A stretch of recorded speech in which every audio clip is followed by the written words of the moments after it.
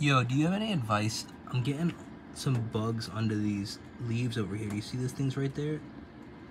And they're it's like only like these brassica kind of things, like this, these over here, like there. This is kale. This is uh, collards, and a little bit, uh, uh, but they're different colored. On these are brown over here. If you can see those on the uh, that's arugula. I tried using a spray bottle, but with cayenne pepper and onion, like like literally let them like sit overnight. But it's clogging this, so I gotta get a bigger one. But like, do you have any any other tips on like how to, like you can see over there as well, like how to get rid of them? Like I don't know what's going on.